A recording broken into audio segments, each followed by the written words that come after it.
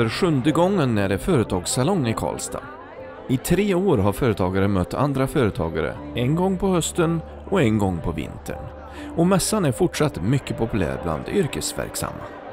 Hemskt bra. Vi har faktiskt varit med, det är väl tredje året nu, varit med båda, både höst och eh, vår får man säga. Och det har varit bra varenda gång vi varit här så vi är jättenöjda. Vad ger det då i slutändan? Det har gett affärer och sen så att man får komma igång. Det är inte alltid det ger affärer på en gång men, men får man byta till visitkort och prata lite med, någon trevlig person så kan ju det ge affärer på, på sikt så det är ju jätteviktigt. Har det gett någon affär direkt sådär någon gång eller? Ja, för, för förra gången vi var här så gav det två affärer direkt. Eh, bland annat med Kjell Bodas eh, som nu har gått i pension tror jag väl, men eh, det var ett affärer. Mm. Eh, vi känner att vi vill eh, komma ut och träffa mycket olika företagare och även privatpersoner. Eh, få ut vårt varumärke så att folk vet att vi finns här i Karlstad. Det är första gången för er? Ja, precis. Det är första gången vi är med, men inte sista, utan vi kommer fortsätta vara med här. Hur har dagen varit då? Jättebra. Det har varit fullt med folk hela tiden sedan det öppnade och ser inte ut att droppa av någonting än, så att vi är jättenöjda. Är det bra med sånt här nätverkande och sån här typer av mässor? Jättebra. Ehm, vi har ju ett väldigt relationsbyggande jobb i och med att vi jobbar med fastighetsförmedling så att träffa folk är ju A och O för oss. Arvika hammam, det får du berätta vad det är. Ja, Arvika hammam det är ju ett eh, hammam på turkiskt vis eller på värmländskt vis. Vi har alltså inrett ett hammam på med, ska vi säga, på ett värmländskt sätt. Det är ett speciellt turkiskt bad alltså? Ja, det är det faktiskt. Då har du ju, vi har ju tvagningsdelen som man gör själv, det gör man ju inte i Turkiet, då blir man ju tvagad i Turkiet, men här gör man tvagningsdelen själv. Sen så har vi ju ett bad som är 39 grader varmt och en stenhäll så man kan då få det här skummet upp skummat av till personer eller så gör man det själv, man, vi visar hur det går till. Kan du även sitta på, ligga på hällen och bli ja, avslappnad och så. Så har vi en ångbastu som är väldigt detoxande för kroppen. Vad tycker era kunder och gäster om det då? Ja, de tycker det är helt fantastiskt. Det finns ju inte en kund som säger att de aldrig skulle komma tillbaka utan alla vill ju komma tillbaka och uppleva det här än en gång. Liksom. Golfstore på Företagssalongen, ni har varit här en gång förut? Ja, förra året var vi här. Vad ger det då? Vi får prata med företag och privatkunder innan vår säsong drar igång. Många måste ju ha med det i, sitt, i sin budget eller sin planering inför året. Då finns vi på plats, synas lite. Vad berättar ni för, för de som kommer hit och besöker er? Ja, men det är lite grann att vi har logobollar, att vi har eh, kläder om man vill ha, man kanske är ett grabbgäng som åker till Irland och man vill att man ska ha lite kläder där det står samma ölgänget på eller någonting sånt där. Och så planerar man för det. Att vi finns här liksom, att man inte glömmer bort oss. Gör ni andra nätverkande aktiviteter bortsett från företagssalongen?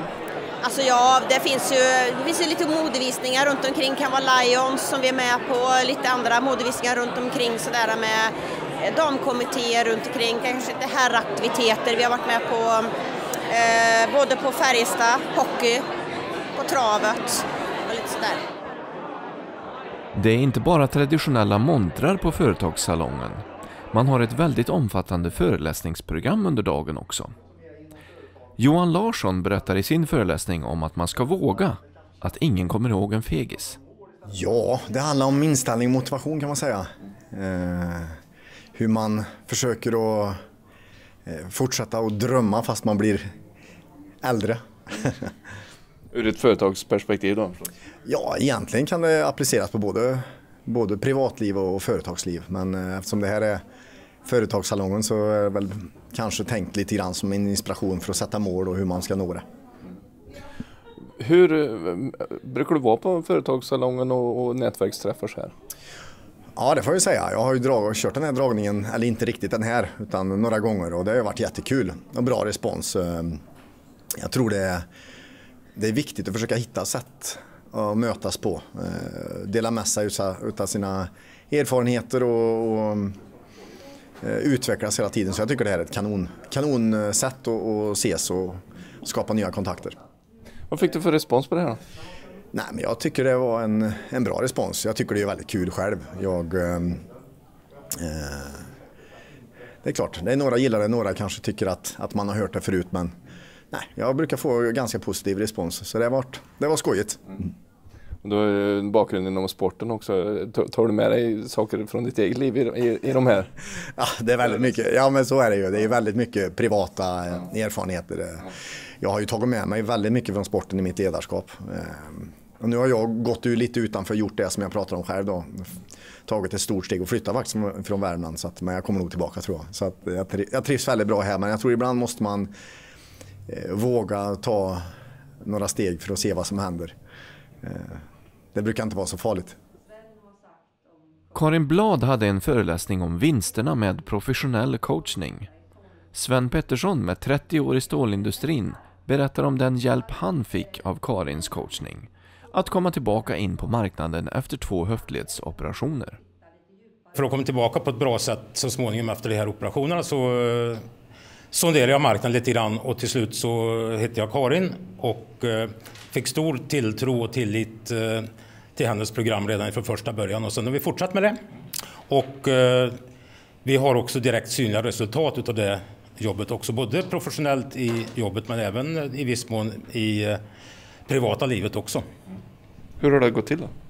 Vi har haft möten som är på ungefär en och en halv timme och de har varit ungefär eh, var tredje vecka. Mellan det så har det varit mejlkontakt och telefonkontakt och sen har Sven läst min bok. Och eh, den är sådär tummad och god för han har läst den om det är tre eller fyra gånger och skrivit själv och tänkt. Så att det är ett enormt eget arbete som han har gjort. Och eh, det är så fascinerande. Han får berätta mer själv. Det går att tjäna pengar på coaching alltså? Det gör det ju. Ehm, I mångt och mycket, i varje fall i vår bransch, är det direkt läsbart vad resultaten ger. Och eh, en hel del jobb, som Karin säger, det är Och det är ju det är jag som har fått gjort det mesta av jobbet också. Det är ju Karin som har väglett och sen har han ju fått eh, plocka fram de här sakerna. Det är ju en slags, själv, en, en, slags hjälp till självhjälp, professionell coaching. Det är ju inte den här, det här peppandet att stå i ett omklädningsrum eller i ett, en, eh, ett avbytarbås, liksom att nu jävlar ska vi ut och ta de här och sådär, utan det här är ju en annan typ av coaching. Och det bygger ju mer på ett samarbete och en tillit och uh, engagemang och sen en vägledning. Och en hel del praktiska övningar också både praktiska och mentala mm. övningar som vi har gjort.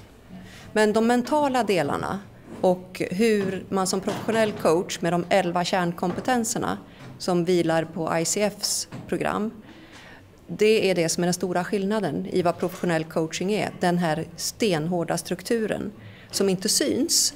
Man kan tro att det bara är lite glada färger och lite fjädrar. Men det är precis lika på sätt och vis stålhårt som den branschen som Sven är i. Fast det är på ett annat sätt. Och det är väldigt mycket kreativitet som får tillfälle att blomma ut och ta plats på sitt sätt. Så att det är skönt under tiden. Det är också någonting som är viktigt att säga, att det är roligt under tiden.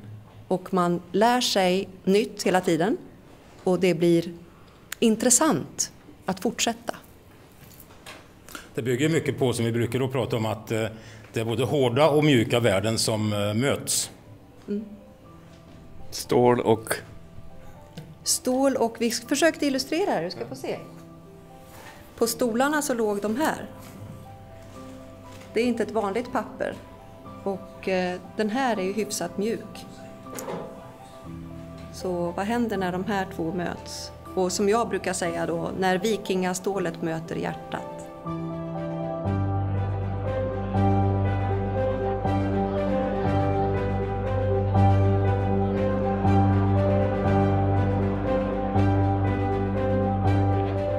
Företagssalongen i år igen, ni brukar vara här? Ja, eh, vi har varit här i tre år i rad. Stämmer. Ja. Vad, vad ger det er då? Kontakter, nätverk och eh, nya härliga ansikten och människor att lära känna. Vad berättar ni för folk som kommer hit då? Ja, jag berättar ju då om racketsporterna, att de kan komma till oss och spela tennis, squash och badminton. Eh, bland annat om friskvård och personalvård det är väl det mesta det. Så, så delar ut lite spelcheckar så de ska komma och hälsa på också. Ja. En liten muta? Ja, lite ny. Så kan man säga. Ja. det är korrekt. Och, och innebandyklubben då? Eh, nej, vi är ju här för att visa upp innebandysporten såklart, men även klättring, bol och vilken anläggning vi har och möjligheter med det för företag och privatpersoner. Och nätverkande i stort då, gör ni fler saker än det här? Ja, måndagar. Vi är på lunch på måndagarna. Eh, och det nätverkar vi också då. Eh, vi äter lunch och sen minglar och talar om vilka vi är liksom, och vart vi finns framför allt. Det gäller ju liksom att synas lite grann, det är så. Mm. Ja, Skoghals Folkets hus, vad har ni på gång? Det är mycket det. Det är ständigt något nytt. Det är mycket film, konferens.